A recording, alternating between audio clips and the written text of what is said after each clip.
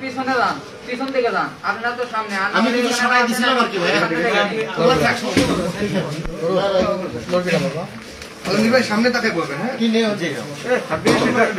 এ মুন্নি ভাই আমার সামনে আপনার- সবাই কি রেডি হয়েছেন ভাইয়া না, না, না, ভাই। আমার সামনে তো আরও আছে। সামনে এ, রাজা। পিছন। তুমি এদিকে আসো না লেগে বসো না আচ্ছা পিছন থেকেই তো নেওয়া লাগবে। এরা পিছনেই গেলেই তো- পিছনে যাও। মুন্নি পিছনে যান, আপনি তো ফ্যান রাজা ভাই ইয়ে। শুরু করেন। মনিরুল ভাই অডিও ঠিক আছে? ওকে ভাই ঠিক আছে। হ্যাঁ হ্যাঁ আলমগীর ভাই একটু একটু আমার দিকে একটু তাকায় আমি একটু আপনার সাথে একটু কথা বলি। সেটা হলো যে আপনার একাডেমিক নামটা কি? আলমগীর হোসেন না আলমগীর কবির মোহাম্মদ আলমগীর হোসেন।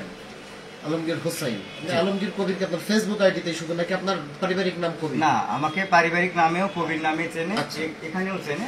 কিন্তু আকিকা করা নাম আলমগীর হোসাইন। হোসাইন আচ্ছা আপনার অনার্সে অনার্সের সেশন কত? নয় দশ। দুই হাজার নয় দশ। পাশের সন নাকি? না এটা ভর্তি ভর্তি সন। আপনি পাস করেছেন দুই হাজার আপনার অনার্স দুই হাজার চোদ্দ না পনেরো? চোদ্দ। অনার্স দুই হাজার চোদ্দ অনার্স মাস্টার দুই হাজার পনেরো। অনার্স আপনার point three point four seven জি। আমি ঠিক আছি তো? জি। আচ্ছা থ্রি পয়েন্ট ফোর সেভেন এটা কি আহ, প্রথম শ্রেণি বলে নাকি? প্রথম শ্রেণীতে কি প্রথম হয়েছেন আপনি? জি। এটা কি সারা বাংলাদেশে আপনার চার কারও পয়েন্ট বেশি নাই? আমাদের সাবজেক্টে এর চেয়ে বেশি নাই আর। এটা কি অনার্সে জি অনার্সে আচ্ছা। আপনার রেজাল্টটা কি দেখাতে পারবেন? জি এই যে আমার একটু একটু দেখাবেন।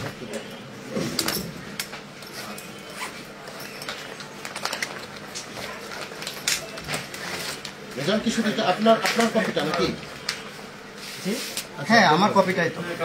এই মোবাইল একটু হাতটা ডানে সরান তো। এটা এটা? এ ভাই আমি ভেতরে আছি আমি তো বলব এই যেটা কত সিজিপিএ কত আছে? CGPA three point four seven on the scale of four point zero zero হ্যাঁ থ্রি পয়েন্ট ফোর সেভেন ঠিক আছে কিন্তু এটা কি আপনার কাছে সর্বোচ্চ? রাষ্ট্রবিজ্ঞানে এটা সারা প্রথম। সর্বোচ্চ? হ্যাঁ এটাই সর্বোচ্চ। আচ্ছা। আর মাস্টার্সে আপনার থ্রি পয়েন্ট ফোর ফোর একটু একটু দেখি ভাই ওটা।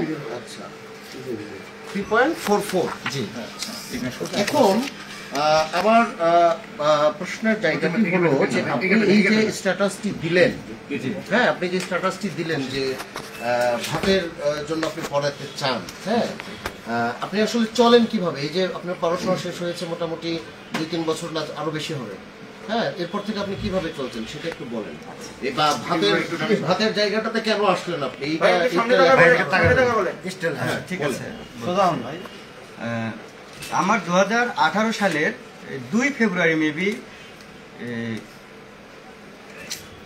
মাস্টার্সের রেজাল্ট দিয়েছে হ্যাঁ? তো আমার অনার্সের রেজাল্টটাও ভালো ছিল মাস্টার্সের রেজাল্টটাও ভালো ছিল। তো আমি ভাবলাম যে একটু ভালো করে পড়াশোনা করলে চাকরির প্রিপারেশনটা নিলে আমার মনে হয় ভালো একটা চাকরি হবে। বিশেষ করে সবারই এটা স্বপ্ন থাকে যে একটা সরকারি চাকরি হোক ভালো। তো আমার রেজাল্টটা ভালো ছিল। সেই দিকটা থেকেই আমি আসলে চাচ্ছিলাম যে ভালো কিছু করার। সেজন্যই আমি আসলে খুব হার্ড ওয়ার্কিং করছি পড়াশোনা করছি চাকরির প্রিপারেশন নিছি। আহ, উডবার্ন লাইব্রেরিতে গেছি সকালবেলা তারপর দুপুরে শুধুমাত্র রুটি খেয়ে ওখানে থাকছি সারাদিন। তারপরে সন্ধ্যার সময় বেরিয়ে আসছি। হ্যাঁ লাইব্রেরিতে এখন আমার নাম এন্ট্রি করা আছে। আপনারা দেখলে ওখানে দেখতে পারেন। তো এটা সব ছাত্ররই আসলে স্বপ্ন, যে ভালো রেজাল্ট করার পরে একটা ভালো চাকরি ডিজার্ভ করে। এরকম একটা। তো সেই জায়গাটা থেকে আমারও এরকম একটা স্বপ্ন ছিল, যে আমার যেহেতু রেজাল্টটা ভালো অনার্সে আমি ফার্স্ট হলাম মাস্টার্সেও আমার রেজাল্টটা ভালো হলো, তো আমি চাচ্ছিলাম যে ভালো একটা চাকরি মানে আমার জন্য সুইটেবল হয় এরকম একটা চাকরি আসলে দরকার। সেই দিকটা থেকে আমি তখন পড়াশোনা করলাম, তখনও আমি একটা টিউশনই করতাম হ্যাঁ। টিউশনি করেই চলতাম। আর মাঝে আঠারো, উনিশ সাল এভাবেই চললাম। বিশ সালে এসে যখন দেশ বন্ধ হয়ে গেল, উনিশ সালে কিন্তু আমি কয়েকটা চাকরি পরীক্ষায় টিকলাম। তখন আমার কনফিডেন্সটা আরও বেড়ে গেল। যে আমি বুঝি পড়াশোনা করলে হয় ভাইবা থেকে বাদ হয়ে যাচ্ছি। তো আমি মনে করলাম যে আমি বুঝি পড়াশোনা করলে আরও ভালো কিছু করব। হ্যাঁ? তো সেই দিকটা থেকে আমি আরও ভালো পড়াশোনা করা শুরু করলাম। আর তখনই এই আমাদের কোভিডটা এসে সব কিছু সারা বিশ্ব তো বন্ধ হয়ে গেল। এটা তো সবার মেনে নিতে হবে। তো আমিও মেনে নিলাম, নিয়ে আমিও বাসাতেই পড়াশোনা করলাম, পড়াশোনা শুরু করতেছি। আর এদিকটাই আমার যে টিউশনিটা ছিল, ওটাও করতেছি। আর চাকরি পরীক্ষাগুলো হচ্ছে না। চাকরির পরীক্ষাগুলো হচ্ছে না, আমি ভাবলাম যে এগুলো সব কাটিয়ে উঠলে তারপর তো চাকরি পরীক্ষা হবে। এর মধ্যে যতগুলো সার্কুলার দিচ্ছে, সবগুলো সার্কুলারই আমি অ্যাপ্লাই করে রাখতেছি। যে করোনার পরেও আবার আমাদের সার্কুলার দিল সুযোগ দিয়ে দিল যে নভেম্বর পর্যন্ত আমরা অ্যাপ্লাই করতে পারব। তো আমি তখনও সবগুলোই অ্যাপ্লাই করে রাখলাম যে যদি কোথাও হয় বা আমার তো প্রিপারেশন ভালো আছে, এ পরীক্ষা দিতে দিতে আমার চাকরি হয়ে যাবে। তো বিশ সালের মে মার্চে এসে, পঁচিশ মার্চে এসে বন্ধ হয়ে গেল সব কিছু আর এদিকে আমার কিছু, এক মাস পরে আমার বাবার করোনা হলো। করোনা হয়ে আমাদের ছোট্ট দোকানটা বিক্রি করে দিল। তো তখন বাবা বলল আমাকে যে, বাবা, তুমি আর এত চাকরি বাকরির চিন্তা ভাবনা করো না, ভালো কিছুর তুমি আপাতত যা পাইবা, তাই করো। তো ওনার কথা শুনে আমারও ভিতরটা নেড়ে উঠল যে, না, আমিও যা পারি তাই করি। এ করে আমি ঢাকায় চলে গেলাম। ঢাকায় গিয়ে আমার বন্ধু ওখানে থাকে ও ডাইনিংয়েই থাকতো। তো আমিও ওর কাছে মানে ওর পায়ের কাছে একটা জায়গাতে, চেয়ারের কাছে ঘুমাতাম। আমরা দুজন ওই এক খাবারটাই ভাগাভাগি করে খাচ্ছিলাম। যখন আমি ঢাকায় থাকতাম তখন আমার এই বন্ধু খাবারটা ইন্টারাপ্ট করি। আলমগীর ভাই এই লড়াই সংগ্রামগুলো এখানে যতগুলা স্টুডেন্ট আছে যারা চাকরি করতেছে আমরা এই সংগ্রামগুলো করে এসেছি। আপনি একটু এই যে এই যে ভাতের বিনিময়ে পড়াইতে চান এই আইডিয়াটা কীভাবে আসলো কেন আসলো এটা একটু এই আচ্ছা, জায়গায় আমি সবগুলো বলে- আমরা শুনেছি। যা, ওটা আমি ওই দিকটা যাই হ্যাঁ আমরা আমরা জানি আপনি বলেছেন। আপনি অনেক টেলিভিশনে আপনার লড়াই সংগ্রামের কথা বলেছেন আপনার মায়ের সংগ্রামের কথা বলেছেন আমরা সবই জানি। আমাদের এখন জানার জায়গাটা হচ্ছে যে এই যে আপনি গত কত তারিখে এটা বাইশ কি পঁচিশ জানুয়ারি আপনি বোধহয় পোস্টারটা দিয়েছেন? একুশ তারিখে দিয়েছেন। এর আগে আপনি দেননি কেন? বা একুশ তারিখ আপনি এই এই আইডিয়াটা কেন আসলো আপনার? যে আপনি এইটা এইটা একটু বলেন। কারণ একটু বলি আপনি যেহেতু জহুরুলনগরে থাকেন ওই কলেজ এলাকা অসংখ্য এরকম প্রাইভেট পড়ানোর বিজ্ঞাপন আমরা দেখি ছাত্ররা টিউশন আমরা নিজেরাও টিউশন করছি ইউনিভার্সিটি লাইফে। এখন বিষয়টা হলো যে এই জায়গাটা আপনি একটু ক্লিয়ার করবেন যে আপনার এইটা কেন আপনি লিখলেন। আচ্ছা ঠিক আছে। এইটা একটু ক্লিয়ার করবেন। তো আমি ঢাকা থাকতে গার্মেন্টসেও জব করলাম। গার্মেন্টসে জব করে আমাকে রাতের বেলা ওরা, ওনারা ডিউটি দিলেন। তো এখানে আমার চাকরি পরীক্ষাগুলো দিতে অসুবিধা হচ্ছিল। সেই জন্য আমি ভাবলাম যে বগুড়ায় গিয়ে যদি কষ্ট করেও থেকে আবার পড়াশুনো করা যায়, তাইলে আমার মনে হয় আবার ভালো চাকরি হবে। সেজন্য আমি বগুড়ায় ফিরে আসলাম। বগুড়ায় ফিরে এসে আমার সব ফ্রেন্ড সার্কেলদের সাথে যোগাযোগ করতেছি যে, ভাই, আমার একটা টিউশানি লাগবে, তোরা আমাকে টিউশনি দে। তো সবাই একই কথা বলতেছে যে, এই সিচুয়েশনে নতুন করে টিচার নেওয়া হচ্ছে না। ওই পুরাতন টিচারটাই পড়ানো হচ্ছে। তবুও যদি আমরা পাই, তোকে আমরা দিয়ে দেবো। তো এভাবে ছয় সাত মাস চলতেছে। আমার আসলে টিউশানি হচ্ছে হচ্ছে না এরকম একটা ব্যাপার। আমি একটা টিউশানি পেলাম, পনেরোশো টাকা। সেটা হলো নুরানি মোড়ে। ওনাদের সাথে কথা হলো, ওনারা পনেরোশো টাকা দিতে চাইলেন। তো পনেরোশো টাকা দিয়ে আমি টিউশানিটা করতেছিলাম। ওই পনেরোশো টাকা দিয়ে আমি চলাফেরা করতেছি। আবার বন্ধুদের থেকে টাকা ধার করে যখন আবার দেশে সবকিছু খুলে দিল, আমাদের চাকরি পরীক্ষাগুলো নিচ্ছে, তো তখন আমি চাকরি পরীক্ষাগুলো দিতে চাই আমার বন্ধু বান্ধবের থেকে বেশিরভাগ টাকা ধার করি বা এই পনেরোশো টাকার মধ্যে যে দুই একটা পরীক্ষা দেওয়া যায় বা আমার আনুষঙ্গিক বিষয়গুলো মেটানো যায়, এটা আমি মেটানোর চেষ্টা করি। হ্যাঁ তো এই ছয় সাত মাস ধরে আমার খাওয়া দাওয়ার গড়বড় হয়ে যাচ্ছিল, আমার শরীরটা একেবারে খারাপ হয়ে যাচ্ছে। আমি বাড়িতেও যোগাযোগ করে বলতে পারতেছি না যে আমার একটু টাকা পয়সা লাগবে ওদিককার আমাদের বাড়ির অবস্থাও শোচনীয়। আবার এদিকে টিউশনিও পাচ্ছি না। এদিকে আবার বাসার যে বাসায় থাকেন সে বাসার মালিক কথা বলে খাওয়া নেব খরচ। ভাই জি। আমার আমি যে বাসাটায় থাকি ওনারা আমাকে থাকতে দিয়েছে শেল্টার দিয়েছে শুধু থাকার জন্য। ওনারা আমি যখন ওনাদের বাসায় উঠি হাতে পায়ে ধরে উঠছি যে আমার আসলে মেসে থাকলে সমস্যা হচ্ছে যে টিউশনি করে চলা আবার হলো পড়াশোনাও করা সব দিকেই সমস্যা হয়। একটা মাত্র টিউশন। তা আপনাদের বাসায় যদি থাকতে দিতেন তাহলে আমার আসলে এই মানে ম্যাচ ভাড়াটা বেঁচে যেত। সেজন্যই আমি ওনাদের বাসাটায় গিয়ে উঠলাম। আর ওনারা আমাকে থাকতে দিলেন আর ওনারা গোটা ফ্যামিলি নিয়ে ঢাকাতে থাকেন বগুড়ায় থাকেন না? ওনারা মাঝে মাঝে ঈদের ঈদের সময় শুধু আসেন এখানে ঈদ করতে। বা হয়তো বা দু তিন মাস পর পর আসেন। চাচ্ছি যে এই বিজ্ঞাপনটা আপনি কেন দিলেন ভাই বুদ্ধিটা কোথা থেকে আচ্ছা ঠিক আছে। তো আমি যখন পনেরোশো টাকায় চলতেছিলাম ভাই আপনার যেটা প্রশ্ন করছে ওটা উত্তর দেন। না না আমাকে তো বলতে হবে। না, না, আপনি বলেছেন তো ভাই গোটা বাংলাদেশ জানে আপনি বিশ্বকে জানিয়ে দিয়েছেন। আপনি শুধু ভাতের বিনিময়ে পড়াইতে চান এই এটা আপনি প্রিন্ট করছেন কোথেকে আচ্ছা আচ্ছা আমি বলি। হ্যাঁ ওইটা ওইটুকু বলেন। রাতের বেলা আমাকে ওই টিউশনটাই ভাত দিচ্ছে। আমার সকালবেলা আর দুপুরবেলা খাওয়া হচ্ছে না। এই পনেরোশো টাকায় আমার হচ্ছে না। ঢাকায় যাওয়া আসা আবার বন্ধুদের সাথে থেকে আমি ধারও করতেছি। এদিকে আবার টিউশনি পাচ্ছিও না।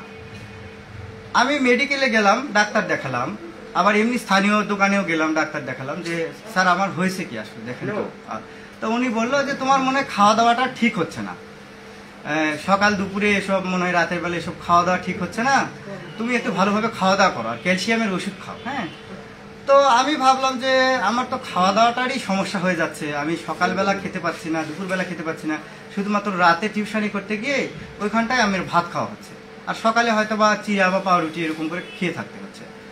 তো আমার মনে হলো যে সব দিক থেকেই টিউশনি পাওয়া যাচ্ছে না। আবার এদিকে কোম্পানিগুলোতেও আমাকে আর্টস ব্যাকগ্রাউন্ড দেখে নিচ্ছে না। আবার কোনো প্রতিষ্ঠানেও নতুন করে এমপ্লয়ি নিচ্ছে না। এই বেসরকারি প্রতিষ্ঠানগুলোতেও আবার যাদের চাকরি আছে তাদেরই চলে যাচ্ছে। আমাকে নেবে কীভাবে?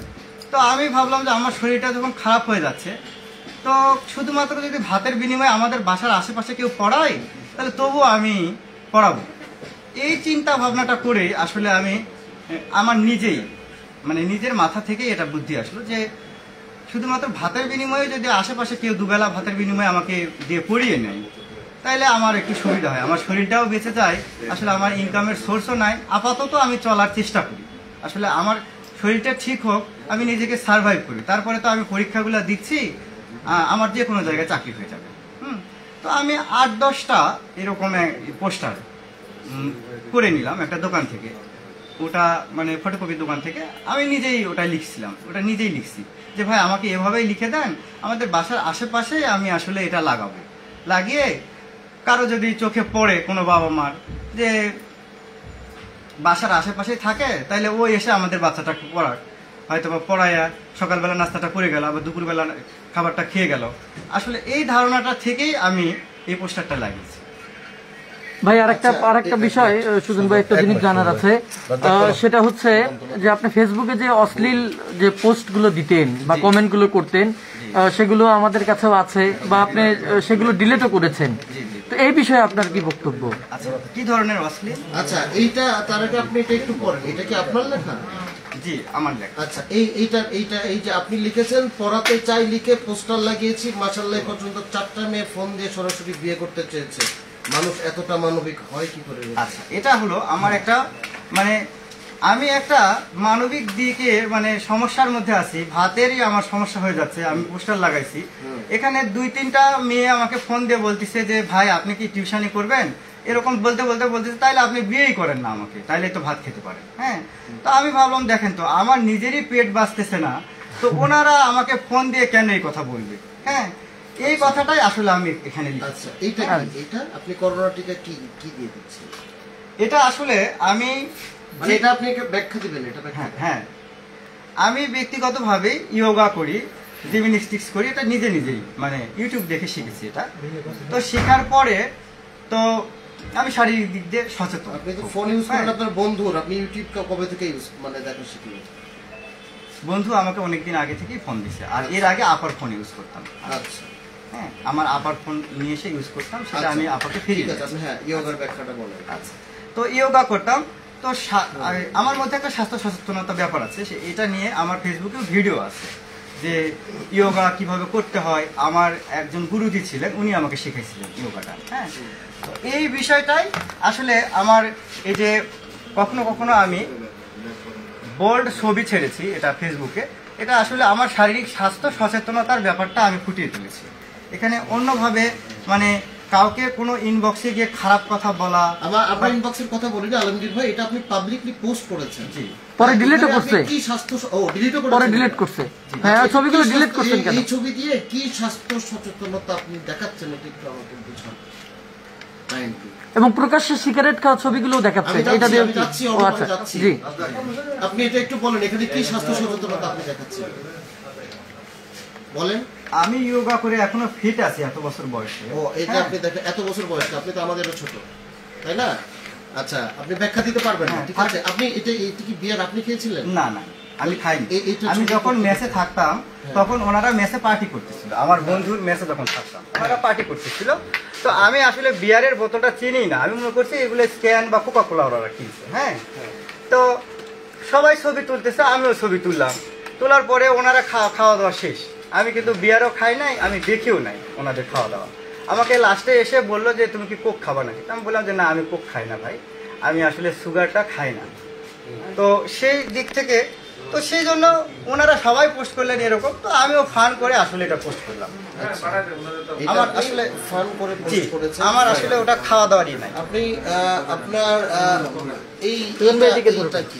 আচ্ছা ওখানে কি স্ট্যাটাসটা লেখা আছে আপনি একটু পড়ে আমাকে আপনি আপনি গরম করতে চাইছেন আচ্ছা এখানে আসছে হাই বন্ধুরা কেমন আছেন সবাই? হ্যাঁ। আমি এসে গেছি তোমাদের লেপ গরম করতে। হ্যাঁ তো মূলা খেলে এটা মূলা নিয়ে আমাদের সবার মাঝে একটা মানে ফানিমূলক একটা জিনিস আছে। হ্যাঁ? যে মূলা যারা খায় আসলে পেট নষ্ট হয় এই এরকম একটা ব্যাপার। হ্যাঁ? তো এই ফানটার ই করেই আমি আসলে মূলাটাকে দেখেছি যে হাই বন্ধুরা শীত এসে গেছে আমিও এসে গেছি আপনাদের এখন আপনি কি মুলা। না। আপনি কি মূলাকে আমি বুঝেছি। আমি আমার নিজেকে বুঝেছি বুঝিয়েছেন? হ্যাঁ আমি আমার নিজেকে না আমার নিজেকে বুঝেছি এই যে আমি মূলায় দেখে বুঝেছি যে হাই বন্ধুরা আমি এসে গেছি। আপনারা এখন এটা আপনারা খেয়ে খেতে পারেন এবং আপনারা লেপ গরম করতে পারেন। এটা একটা ফানি দিয়ে লেপ গরম? লেপ গরম কি খুব পজিটিভ অর্থ? আপনি আচ্ছা। জাতীয় বিশ্ববিদ্যালয়ে রাষ্ট্রবিজ্ঞানের লেপ- মাস্টার্স করেছেন লেপ গরম করার আপনি মিনিংটা বলেন। লেপ গরম করার বিষয়টা হলো আমি বলি যে মূলা খেলে আমাদের সাধারণত একটা পেটের মানে গ্যাসের সৃষ্টি হয় হ্যাঁ? তার থেকে লেপ গরম হয়। না, গ্যাসের সৃষ্টি হয়। না আমি বলতে দেন। কীভাবে লেপ গরম হয় আমি বলতেছি। তো মূলা খেলে আমাদের বিশেষভাবে মানে বিশেষ করে অ্যাসিডিটির একটা প্রবলেম দেখা দেয় গ্যাসের প্রবলেম দেখা দেয়। তো পাত মারে ভাই হ্যাঁ। কথা বলেন না কেন মারে। হ্যাঁ। তো সেটাই আমি আসলে ওটাই বুঝিয়েছি আচ্ছা। হ্যাঁ। ওটা বুঝিয়েছেন। আপনি ব্যাপক স্বাস্থ্য সচেতন আপনি ইয়োগা বুঝালেন আপনি মূলার গুণাগুণ বুঝালেন। এই যে আপার পুষ্টিহীনতার কি সমস্যা বলেন? আপার পুষ্টিহীনতার এটা কি- সমস্যা হলো দাঁড়ান আমি বলি। ওটা আমার একটা ছোট ভাই হ্যাঁ? হ্যাঁ। ওটা আমার একটা ছোট ভাই ও নিজে থেকে ওর ছবিটা মানে ছেলে থেকে মেয়েতে নিয়ে আসছে। হ্যাঁ এটা কি ছেলে থেকে মেয়ে? হ্যাঁ ছেলে থেকে মেয়েতে অ্যাপসতে নিয়ে আসছে। হ্যাঁ ও নিজের ছবি মানে ওর অ্যাপসে কেউ একটা মানে ওর ছবিতে এটা দিছে। আচ্ছা। তো ওর বার্থডে ছিল তা আমি আবার ফান করে ওর বার্থডেতে ও আবার আমাদের মতো একটু চিকনা টাইপ ওর ওজন কম। হ্যাঁ? তো আমি বললাম যে আবার স্বাস্থ্যহীনতায় ভুগছে। এটা মানে ও অ্যাপস দিয়ে বানাইছে। সেই জন্যই আসলে এটা ফানমূলক করে ওনাকে বার্থডে উইশ করা। আচ্ছা। প্রতি রাতে যে বিরিয়ানি রান্না করতেন বা ই করতেন এ বিষয়ে বলেন। আচ্ছা প্রতি রাতের বিরিয়ানির ছবিগুলো আমাকে দেখান। বিরিয়ানি বিরিয়ানির ছবিগুলো আমি তো এই ফোনে আছে স্ক্রিনশট দেখাতে পাচ্ছি হ্যাঁ পুরো খাবারেরগুলো। মানে প্রতি রাতেই যে বিরিয়ানি আমি খাই না রান্নার কথাগুলো বলেন। আপনি কেবল বললেন যে প্রতি রাতে আমি বিরিয়ানি রান্নার খাবারের ব্যাপারটা বলেন। হ্যাঁ বলুন। আপনি ঢাকা থেকে বগুড়ায় আসছেন কবে আমি ঢাকা থেকে বগুড়ায় আসছি প্রায় সাত মাস সাত মাস হলো হ্যাঁ। এই সাত মাসের সাত মাসের মধ্যে আপনি এই যে ভাতের অভাবে স্ট্যাটাসটা ইয়া পোস্টার বিজ্ঞাপনটা দিলেন যে আপনি ভাতের সরি ভাতের অভাবে ভাতের বিনিময় করাইতে চান। এই সাত মাসে আপনি মানে আপনার মানে না খেয়েছিলেন না খেয়েছিলাম মানে আমি সাত মাস আগে আসছি ছয় মাস হয়ে গেল আমি ওখানটায় টিউশনটা করি। যে একটা টিউশনই করি। আমরা এক মাস পরে এসে টিউশন এক মাস পরে এসেই মানে এক মাস খুঁজলাম খুঁজে তারপরে এক মাস পরে এসেই টিউশনটা পেলাম। আচ্ছা। টিউশনটা পেলাম সেখান থেকে আমি রাতের বেলা তো খাবার খাচ্ছিলাম। আর দিনের বেলা তখন থেকেই আমার সকাল এবং দুপুরে খাওয়ার সমস্যা হচ্ছে। তখন থেকে আমি এক বেলায় বা চিরা বা পাউরুটি এরকম খাই। আচ্ছা। এখন এই যে আপনি আপনি পুলিশ সুপার মহোদয় আপনার সাথে অনেকক্ষণ কথা বলেছেন আমাদের সামনে কথা বলেছেন। হ্যাঁ। উনি যে বিষয়টা বলেন এবং আপনি ভারত বলেন বা বিবিসি ভারতের কি আনন্দবাজার আনন্দবাজার, বিবিসি। হ্যাঁ তারা কি বুঝিয়েছে আপনি বুঝ- বুঝতে পেরেছেন তো? আমি ওনাদের সাথে যোগাযোগ করে কোনো ইন্টারভিউ দেইনি তো। আচ্ছা। যদি এটা নিজের থেকে ওনারা ছাপায় এখানে আমি কি করব? আচ্ছা। আপনি কারোর সাথে কথা বলেন না আমি কোনো কোনো কারোর সাথেই আনন্দবাজার পত্রিকা কারোর সাথে কথা বলিনি। এরকম এভিডেন্স দেখাতে পারবে না। বিবিসির সাথে? বিবিসির সাথে বিবিসি আমাকে ফোন দিয়েছিল। ফোন দিয়ে বলতেছে যে আপনার একটা খবর ভাইরাল হয়েছে। আপনারা ওনাদের রেকর্ড চেক করলে বুঝতে পারবেন। তো আমি বললাম, কী ধরনের? তো বলল যে, এরকম। তো আমি বললাম যে, স্যার, আমি একটু সমস্যার মধ্যে আছি সেই জন্য বিজ্ঞাপনটা দিতে আমাদের বাসার আশেপাশে।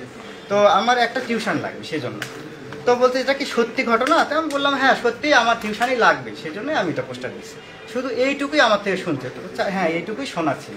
শোনার পরে উনি কোনো একটা পোস্ট এর আগে হয়ে গেছে, খবর প্রকাশ করছে সেখান থেকে পুরোটা কপি পেস্ট করে নিয়ে এই খবরটা ছেড়েছে। আচ্ছা এখন এই যে বিষয়টি এইভাবে ছড়ালো আপনি আপনার আপনার জায়গায় আপনি ঠিক আছেন আপনি বলছেন যে আমি আমার শুধু আশপাশের এলাকায় লেগে আছি যাতে আমি এখানে প্রাইভেট পড়তে চাই। ফাইন আপনার আপনার চিন্তাকে আমি এই জায়গায় সমর্থন করলাম। কিন্তু এইটার মধ্য দিয়ে মানে আজকে এসে এই যে একুশ তারিখ থেকে আজকে দুই তারিখ মোটামুটি দশ দশ দিন এগারো দিন হচ্ছে। এই দশ এগারো বারো দিন আপনার কাছে মনে হচ্ছে না আপনি বাংলাদেশকে একেবারে গোটা বিশ্বের কাছে একেবারে মানে নিচু করে ফেলছেন? আপনার কাছে মনে হচ্ছে আমি এই উদ্দেশ্যে কখনোই পোস্ট দেইনি। ভাই আপনি আলমগীর ভাই আপনি উদ্দেশ্য পোস্ট দেন আমি মেনে নিলাম। না আমি এই হ্যাঁ। উদ্দেশ্যে পোস্ট দিই না কিন্তু আমি বাংলাদেশকে প্রধানমন্ত্রীকে সবসময়ই ভালোবাসি ওনাকে নিয়ে আমার ফেসবুকে লেখালেখি সবই ঠিক আছে। তারপরে শেখ মুজিব সাহেবকে নিয়েও আমি অনেক লেখালেখি করি এবং ওই বঙ্গবন্ধু শেখ মুজিবের জীবনের উপরে আমি রচনা প্রতিযোগিতায় দুইটা বই পাইছি এখন পর্যন্ত সেই বইগুলো আছে হ্যাঁ? আমি। ব্যক্তিগতভাবেই আমি আওয়ামী লীগ দলকে খুব ভালোবাসি। আচ্ছা আপনি ভালোবাসেন দেশের ভাবমূর্তি মূর্তি নষ্ট করার জন্য আমি এটা করি নাই। কিন্তু হয়েছে কিনা হয়েছে কিনা আপনার কাছে এখন এসে একটু অপরাধ বোধ কাজ করছে কিনা পুলিশ সুপার মহোদয় কিন্তু আপনাকে বলেছে। যে আপনি এটা নিচু মানসিকতার পরিচয় দিয়েছেন। আমি এটা দেওয়ালে পিঠ থেকে যাওয়ার জন্য এটা করছি। যে আমি ভাতই খেতে পাচ্ছিলাম না সেই জন্য করেছি। আমি যে এত বড় একটা মানে বিষয়টা ভাইরাল হয়ে যাবে এই বিষয়টা যে এত কিছু হয়ে যাবে আমি তো এটা চিন্তা করি না। আপনি তো ভাইরাল হওয়ার জন্য ভাইরাল হওয়ার জন্য না আমি ভাইরাল হওয়ার জন্য এটা করি এই আমি এই ছবিটা কে দিয়েছে প্রথম জানেন? আমি এই আপনার পরিচিত একজন এই ছবিটা প্রথম ফেসবুকে দিয়েছে এটা কি আপনি জানেন? না আমি জানি না। আমার পরিচিত কেউ দিছে এটা আমি জানি না। কারণ এটা কোনো পেজে একটা চলে গেছে। সে পেজে তো আপনার পরিচিত মানুষই তো দিয়েছে। শহরে তো। কোটি কোটি পোস্টার হ্যাঁ। আপনি কি মনে করেছেন যে শুধু ওটা লেখার জন্য গিয়েছে? না না পরিচিত কেউ আমরা আপনার সমস্ত কথা আপনি আপনি যা বলছেন সবকিছুই হচ্ছে যে বিচার মানে তাল গাছ আমার। বিষয়টা আপনি এরকম মানে আপনি কোনোটাই আপনি। লেপ গরমকে আপনি মূলার ব্যাখ্যা দিলেন আপনি ওই একটা মেয়ের ছবি আমি- আমি বলি লেট মি ফিনিশ আমি বলি। লেট মি ফিনিশ আপনি। অ্যাপস বুঝাচ্ছেন আমাকে আমাকে বলতে দেন। আমার তো মূলা নিয়ে ছবি দিছি আমি এটা নর্মাল তো পাদের ব্যাপারটাই বলি না না না না লেপ গরম কাকে বলে লেপ গরম কাকে বলে এখন এটা আপনার ধারণা আমার আমার ধারণা এখানে তো আরও অনেকগুলো মানুষ আছে মানে মূলা খেয়ে যে লেপ গরম কীভাবে হয় এটা তো আপনার আপনার ফেসিয়াল এক্সপ্রেশন আমি কমিউনিকেশনের ছাত্র আপনি রাষ্ট্রবিজ্ঞানের ছাত্র না। আমি ফার্স্ট ক্লাস পাস আমরা ফার্স্ট ক্লাস পাইনি আমরা কমিউনিকেশন পড়েছি। আপনার ফেসিয়াল এক্সপ্রেশন উইথ মুলা হ্যাঁ এটা কি বুঝায়? এটা বাঙালি বোঝে। এটা আপনি বুঝাইতে আইছেন না মানে না, না। আপনি আমাকে একটা জিনিস বুঝান যে আপনি গত সাত দশ দিন ধরে পুরো বাংলাদেশকে আমার বগুড়া জেলাকে আপনি সারা বিশ্বের সামনে ছোট করেছেন এজন্য আপনার অপরাধ হচ্ছে কিনা? না আমি এটা নিজের থেকে কখনোই করিনি। আমি না না আপনি কেন করবেন? আপনার হচ্ছে আপনার বোধ হচ্ছে কিনা যে আমার দেশ আমার জন্য আপনি এত আপনি বঙ্গবন্ধু বঙ্গবন্ধু সাহেবকে নিয়ে আপনি অনেক পড়াশোনা করেছেন লিখেছেন। আপনি আপনার এই বোধটা হচ্ছে কিনা যে আমি সারা বিশ্বের কাছে আমার দেশকে ছোট করেছি? এটা আপনার মনে হচ্ছে কিনা? যেটা আমাদের পুলিশ সুপার মহোদয় বলেছেন। না না এক কথাই বলুন। আপনি একবার বলবেন যে আপনার অপরাধ বোধ কাজ করছে কি না? আসলে এই জিনিসটা ছড়িয়ে পড়ার পরে এখন নেগেটিভ পজিটিভ তো দুটো দিকই আসবে হ্যাঁ? এখন কেউ কেউ এটা পজিটিভ দিক দিক দেখছে কেউ কেউ নেগেটিভ দিক দিক দেখছে। আসলে আবার এটা বাইরের দেশেও খবরটা চলে গেল। আপনি কোন দৃষ্টিকোণ থেকে দেখছেন সেটা সেটা আপনার দৃষ্টিভঙ্গি জানতে চাচ্ছি। আচ্ছা আমি বলতেছি মানে এত ইরিটেট করে কথা বলার না, না, দরকার কেউ নেই। কেউ irritate না, না, না। আপনি ব্যাখ্যা দেওয়ার দরকার নাই তো ভাই আমরা জানি আপনি সবকিছু। ব্যাখ্যা চাওয়ার জন্যই আমার সাথে কথা না না আমি আপনার সঙ্গে ব্যাখ্যা চাওয়ার জন্য আপনি টু দ্য পয়েন্টে কথা বলবেন। হ্যাঁ টু দ্য পয়েন্টেই টু দ্য পয়েন্টে যে আপনি এই আমার দশ বারো দিন ধরে আমার দেশকে সারা বিশ্বের সামনে আপনি ছোট ছোট করছেন। কিনা? ছোট করেছেন কিনা এবং সেই ছোট করার জন্য আপনার অপরাধ বোধ কাজ করে কিনা? ইন্টারনেটের যুগ সব জায়গায় ছড়িয়ে পড়ছে। এটা খবরও হয়ে গেছে। এখন আমার আসলে এখানে আমারও কিছুটা হয়তোবা আরও একটু সচেতন হওয়া দরকার ছিল। যে এভাবে পোস্টার না ছাপিয়ে আরও কয়েকদিন দেখা উচিত ছিল। হ্যাঁ? তো হঠাৎ করে এরকম আমার মানে মাস্টার শেষ করার পরে আবার চাকরিও বয়সও শেষ হয়ে গেল। সেই দিকটা থেকে আমার ভিতরেও একটা ছোটখাটো ডিপ্রেশন চলে আসছে যে চাকরি বাকরি হচ্ছে না। কারণ এই দিকটা থেকেই হয়তোবা আমি এই পোস্টারটা লাগিয়েছি তারপরে ভাইরাল হয়ে গেল দেশ বিদেশে এটা ছড়িয়ে পড়ল। মানে আপনার অপরাধ বোধ হচ্ছে না? দাঁড়ান আমি বলি। আচ্ছা আসেন আমাকে বল একটু বলতে দেন। আচ্ছা বল তো এটা আসলে ছড়িয়ে পড়ল সব জায়গায়। এবং বিভিন্ন মানুষ বিভিন্নভাবে উপস্থাপনা করল। আমাদের দেশেরও আসলে এটা একটা ভাবমূর্তিটা নষ্ট হওয়ার মতোই হলো যে শুধুমাত্র ভাতের বিনিময়ে একজন পোস্ট দিচ্ছে। আবার এখানে সরকারি দলেরও একটা কেউ কেউ মানে তাদের মতে ওখানে তুলে ধরছে যে সরকারি দলের এটা একটা ব্যর্থতা যে একজন পোস্ট গ্রাজুয়েট ভাত পাচ্ছে না। আমি আসলে কিন্তু এই মানে সেন্স থেকে এই পোস্টারটা লাগাই। কারণ সরকারি দল অবশ্যই ওনারা খুব পজিটিভ খুব ভালোভাবে ওনারা আগাচ্ছেন হ্যাঁ? তো আমি ব্যক্তিগত দিক দিয়ে যে অনেকেই বলতেছে যে আপনি কেন মানে অন্যান্য কাজ করতেছেন না। অন্যান্য কাজ করলে রিক্সা চালালেও তো আপনি ভাত খেতে পারেন বা অন্য ইনকাম করেও ভাত খেতে পারেন হ্যাঁ? তো আমি এর আগে ফুলের দোকানে ফুলও বিক্রি করছি। হ্যাঁ আমরা জেনেছি। তারপরে ফুচকার দোকানে ফুচকাও বিক্রি করছি হ্যাঁ? তো কোথায় চাকরি করলে কি করলে আমি টাকা পাবো বা খেতে পারব এই জিনিসটা আমি জানি। আমি শুধুমাত্র টিউশনের বিনিময়ে ভাত চাইছি। টিউশনিটাও একটা কর্ম আমি মনে করছি। ভাইয়া আমরা সবাই ভাতের জন্য কাজ করি। আপনি আমাকে একটু বলেন এই যে বাংলাদেশটাকে আপনি নিজেও বুঝতে পারছেন বাংলাদেশটাকে ছোট হয়ে গেছে বাংলাদেশ। আপনি করেন আমি আপনাকে দোষ দিচ্ছি না। আপনি শুধুমাত্র ওই বিজ্ঞাপনটা ছাপিয়েছেন কিন্তু বাংলাদেশ যে ছোট হয়ে গেল এই অপরাধ বোধটা এখন তৈরি হচ্ছে কিনা? আপনি ওটা না করলে তো বাংলাদেশ এই জায়গায় যেত না। বাংলাদেশ আমি আমার গলিটাই লাগাইছি। এখন আপনারা মানে যারা এই পোস্টটা করেছে আসলে এটা ভাইরাল করেছে এখানে আমার নিজেরও একটা ভুল আছে যে এটা করা ঠিক হয়নি আসলে যে এত দূর চলে যাবে এত দূর চলে গিয়ে একটা দেশের উপরেও মানে প্রভাব আসবে এরকম একটা ব্যাপার। তো এটা আমার নিজেরও একটা ছোটখাটো ভুল। আবার যারা এটাকে অন্যভাবে নেগেটিভ ভাবে দেখিয়েছে। ওনাদেরও একটা ভুল। ওনারা আমার সাথে কথা বলে মানে ছোটখাটো ভাবে মানে এটা শেষ করে দেওয়া উচিত ছিল। এখন ওনারা যে কোনো ভাবে এটাকে মানে ইস্যু করার জন্য যে যেখানে পারছে খবর ছড়িয়ে দিচ্ছে। আপনি তো বিশেষ কিছু ব্যক্তির সাথে যোগাযোগ করেন সবার সাথে তো আপনার যোগাযোগ করেন না আমি বিশেষ কোনো ব্যক্তির সাথে যোগাযোগ করি না আমার ফোনটা দেখেন এই পর্যন্ত ফোন বন্ধ আছে ওটা ওটা ফোন বন্ধ ফোন আছে। বন্ধ থাকবে এটা স্বাভাবিক কারণ খুলছি কি? দুই এই, আলমগীর ভাই। কল আসছে। উপস্থিত কথা বলার জন্য। আলমগীর ভাই হ্যাঁ। ফোন এটা স্বাভাবিক। আপনি যেটা বলছেন না ফোন যেহেতু আপনার নাম্বার ভাইরাল হয়ে গেছে দুইশো একত্রিশটা কল আসছে আমি কীভাবে কি করব? হ্যাঁ? এখন এই যে না কেন? আপনি অনেকগুলো চাকরির অফার পেয়েছেন এর মধ্যে? এরকম কয়টা চাকরির অফার পেয়েছেন? অনেকগুলা চাকরির অফার অফার পাইনি কারণ আমার ফোনটাই বন্ধ আছে। আচ্ছা। তো আমাকে কল করা হয়েছিল গার্মেন্টস সেক্টর থেকে, দু এক জায়গা থেকে, যে আপনি গার্মেন্টসে জয়েন করবেন কিনা। তা আমি বললাম যে, স্যার, আমি তো কোয়ালিটি পোস্টে চাকরি করেছি। তো কোয়ালিটি পোস্টে চাকরি করলে আমার আরও বিশ, বাইশটা অ্যাপ্লাই করা আছে। তো ওই চাকরিগুলোর পরীক্ষা আমি দিতে পারব না। আমি আসলে এখনও পড়াশোনা করতেছি, তো আমি এমন কোনো একটা চাকরি খুঁজবো যেখানে চাকরি করেও যেন আমি পরীক্ষাগুলো দিতে পারি। এটা একটা আর অনেকে আমাকে সেলসম্যানের অফার করেছে মার্কেটিংয়ের বিষয়টা। হ্যাঁ? তো মার্কেটিংয়ের বিষয়টা ওনাদের আমি এইভাবেই বলেছি যে মার্কেটিংয়ে চাকরি করলে আমি তো পড়াশোনা করতে পারব না। আমি আসলে আমার টিউশনের বিনিময়ে শুধুমাত্র মানে চলার জন্য আমি আসলে টিউশনই চাচ্ছি যে চলাফেরা করে খাওয়া দাওয়ার পরে আমি তো আরও পরীক্ষা দেব আমি তো আশাবাদী, আমি তো চাকরি পাবো। না, আপনি আশাবাদী থাকেন, আপনার আশা পূরণও হোক, আমরা প্রত্যাশা করি। একটা বিষয় আলমগীর ভাই, আমাদেরকে একটু গণমাধ্যম কর্মীরা আছে, আপনি একটু কনফার্ম করে দেন, কারণ কালকে আমরা দুই আড়াই ঘণ্টা আপনার কলেজে আপনার বিভাগে আমরা কাজ করেছি এবং আপনি যে সারা দেশে রাষ্ট্রবিজ্ঞানে প্রথম শ্রেণীতে প্রথম হয়েছেন সেটা হলো আপনার টিচারদের আপনার চেনার কথা। আপনার টিচাররা কিন্তু এরকম বক্তব্য দেননি। আপনি একটু অনুগ্রহ করে আপনার কোনো শিক্ষক অথবা আপনার কোনো বন্ধু যিনি ব্যাচমেট তার সাথে একটু আমাদের কথা বলাই দেন যে আপনি সারা দেশে প্রথম শ্রেণীতে প্রথম হয়েছিলেন কিনা।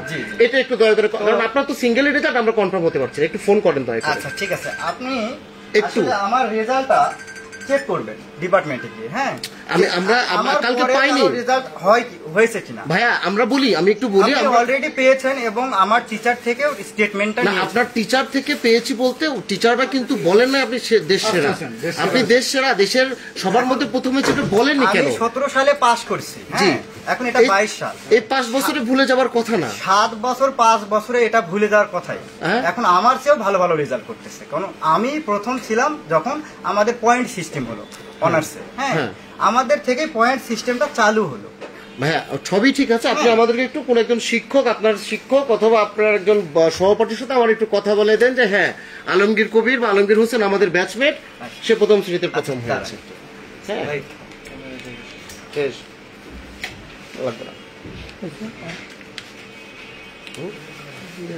হ্যাঁ? হ্যাঁ উনি কথা বলে দিক ফার্স্ট হবে ডিপার্টমেন্টের মধ্যে এটা ডিপার্টমেন্ট পঞ্চাশ বছরে একবার করে বছরে ভুলে যাবে এটা? আচ্ছা। বছরে একবার হয়। না, ওনারা কালকে বলেছে বিধান।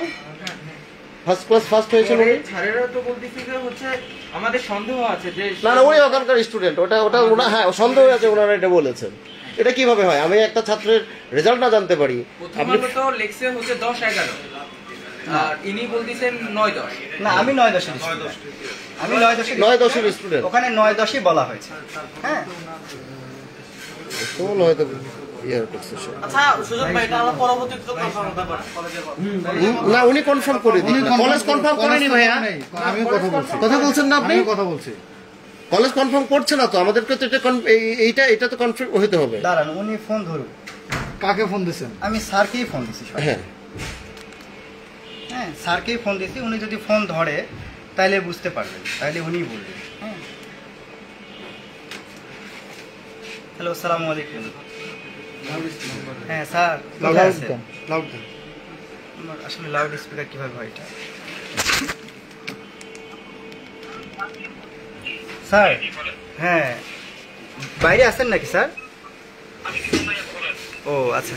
স্যার আমি অনার্সে যে ফার্স্ট ছিলাম ডিপার্টমেন্ট ফার্স্ট ছিলাম এটা কি সত্য ঘটনা না? আপনি দেশের মধ্যে করেছেন। জি স্যার বলেন। যা- জি স্যার বলেন। অনার্স ডিপার্টমেন্টে ফার্স্ট বাংলাদেশে ফার্স্ট আমার জানা নেই ঠিক আছে? জি। জি। হ্যাঁ। ঠিক আছে জি, স্যার। অনার্স ডিপার্টমেন্টে ফার্স্ট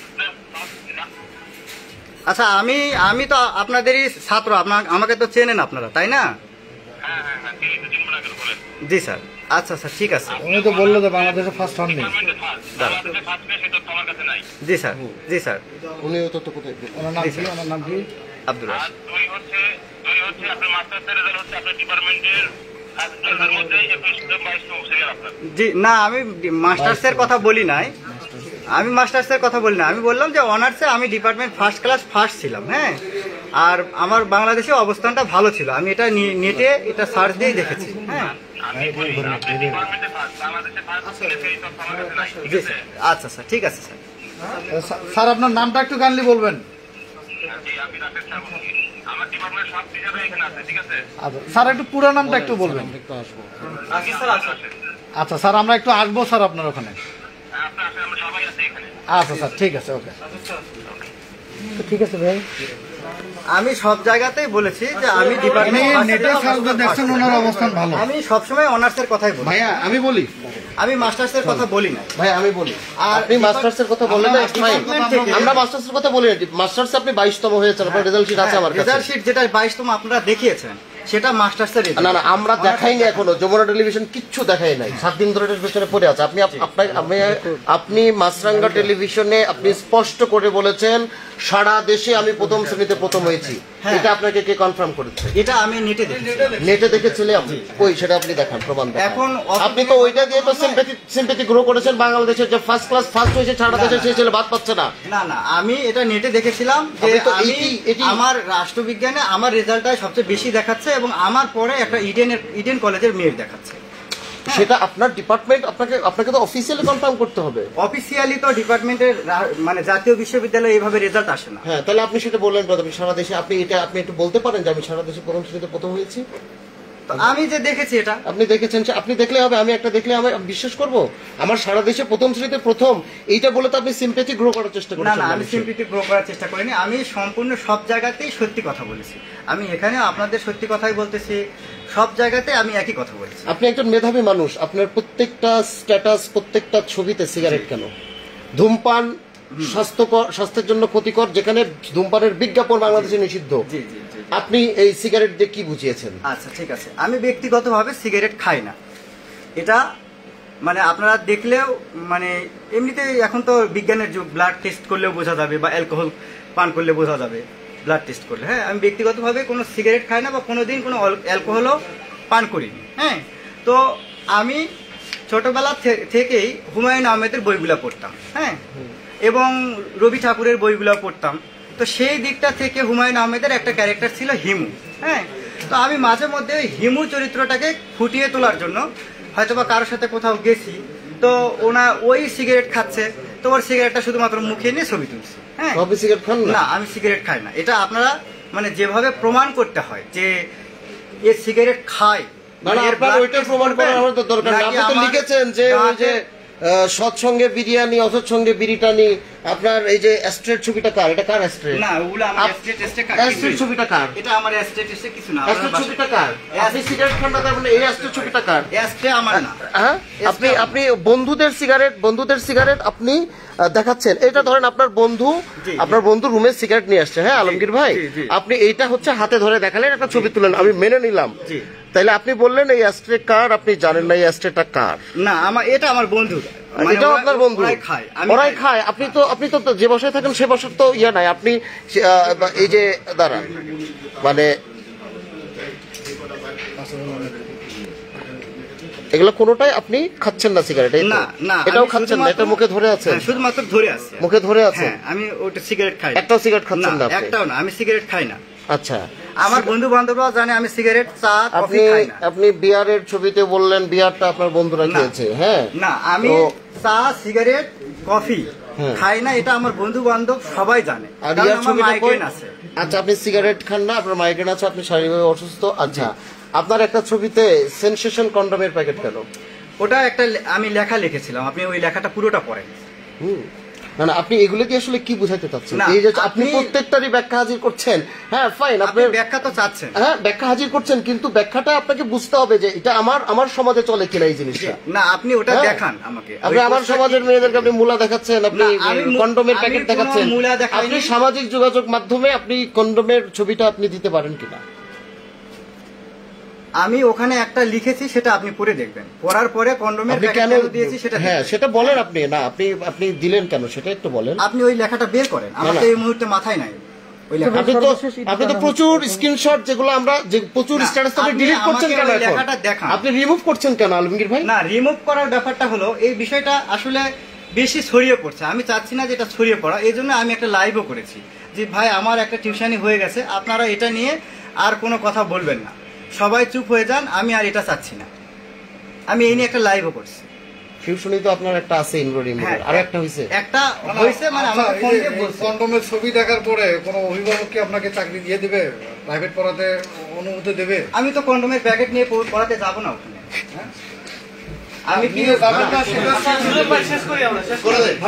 ভাই। সর্বশেষ ভাই আপনার যদি চাকরি হয় আপনি চাকরি করবেন তো? এটার বিষয়ে একটু বলেন। আমি সত্যি সমস্যার মধ্যে আছি। ভাই এদিকে। হ্যাঁ হ্যাঁ আমি সত্যি সমস্যার মধ্যে আছি। আসলে আমার পরিবারের অবস্থাও শোচনীয়। তো আমি চাচ্ছি যে টিউশনই চাচ্ছি। তো টিউশনের পাশাপাশি যদি আমাকে কেউ আমার যোগ্যতা অনুযায়ী সুইটেবল কোনো জব দেয় আমি অবশ্যই ধরনের আমার যোগ্যতা অনুযায়ী যে পুলিশ সুপার মহোদয় তো আপনাকে একটা আশ্বাস হ্যাঁ। দিয়েছেন ওই চাকরি আপনি করবেন তো যদি হয়। তো আমার যোগ্যতা অনুযায়ী যদি আমাকে চাকরি অফার করা হয় আমি অবশ্যই চাকরি করব হ্যাঁ? এখানে পুলিশ সুপার মহোদয় আমাকে বললেন যে তোমার জন্য একটা চাকরির ব্যবস্থা করা হবে। তো উনি অবশ্যই আমার জন্য একটা উপযুক্ত চাকরির ব্যবস্থা করেছেন বা করবেন। আমি আশাবাদী খুবই আমার চাকরিটা হয়ে যাবে হ্যাঁ? আর চাকরিটা হলে আমি করব। জি ভাই আমরাও চাই আপনার চাকরিটা হোক। ধন্যবাদ ভাই।